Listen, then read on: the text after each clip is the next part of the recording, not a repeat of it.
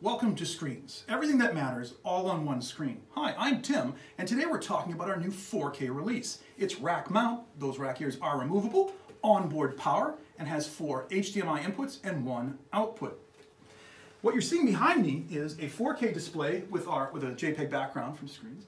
This product does include our special effects engine as in all products, alpha keying, chroma keying.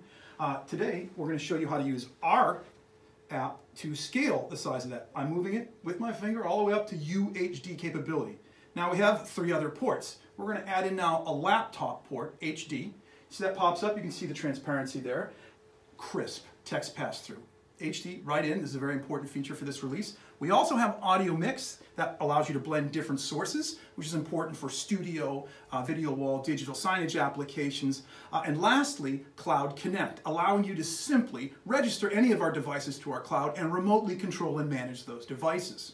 Should you have any more questions about our 4K release or Skreens products in general, please reach out. Thank you.